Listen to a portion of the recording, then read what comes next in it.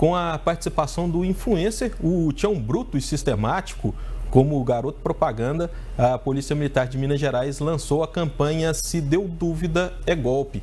O objetivo é conscientizar sobre os diversos golpes de estelionato. Karine foi vítima de estelionato logo depois de tentar vender o telefone em uma plataforma da internet.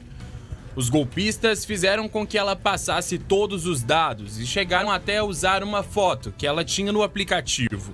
Por ser uma plataforma, achei que era uma coisa confiável e tal, e aí eu fui me envolvendo.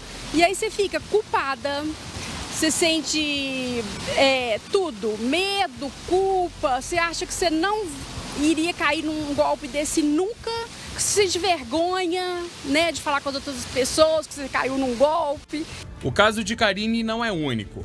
Muitas pessoas caem nesses golpes ou conhecem alguém que caiu. A preocupação no geral é principalmente com os idosos, que por falta de conhecimento são os principais alvos de golpistas. E por isso que eu, eu cuido muito do meu pai e da minha mãe, mesmo para eles não clicarem, né? Por, por ser idosos, cai muito no WhatsApp também, aí clica qualquer link, aí pega dados. Hoje está muito fácil, né? Infelizmente, para pegar essas informações. Belo Horizonte lidera o ranking das cidades do estado com mais casos de estelionato digital.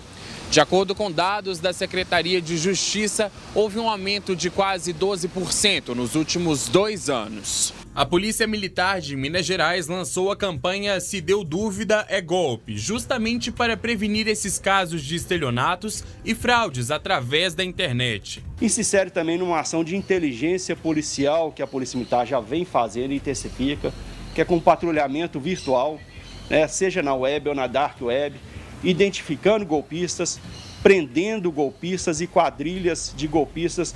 E o mineiro tem essa questão da desconfiança. Então a gente quer apelar para esse, para o intrínseco do, do, do, da mineridade para que as pessoas possam se prevenir. O garoto propaganda da campanha é um rosto conhecido nas redes sociais. Tião bruto e sistemático que tem mais de 3 milhões de seguidores. E ele deixa um recado. E golpe, gente, cuidado, existe. Abra o olho. Qualquer coisa procura, procura a polícia militar que está aí para correr atrás e ver como é que é.